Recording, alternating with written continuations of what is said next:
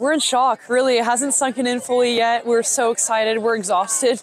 It's a late night last night, and you know, the drive couldn't have gone quicker. We're so excited to come back and see everyone, and this is what makes it all worth it. This, these are the people that make it happen, and we're playing for all of you guys, and we're happy we got it done. Right.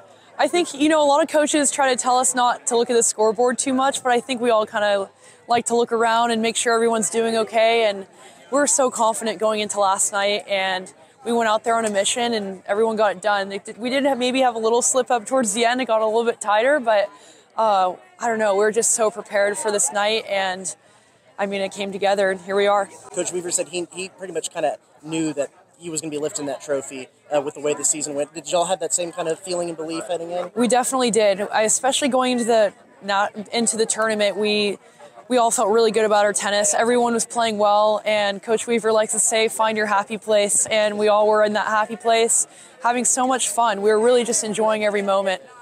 You know, our, our theme song is the song Unwritten right now. And just once we had the trophy in our hands and we were just jumping around with each other after winning, we're crying so many emotions those are the kind of small moments that you'll take with yourself for the rest of your life. And there's no other team I'd want to do that with. These girls are so special.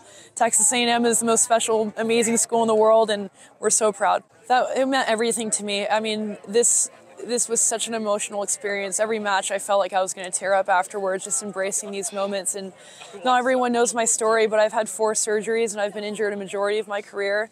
And I've come through all of that, and I'm playing the best tennis of my life now. I'm the fittest I've ever been, the strongest, and I'm so glad that I get to represent Texas A&M through those moments and get these wins for this team.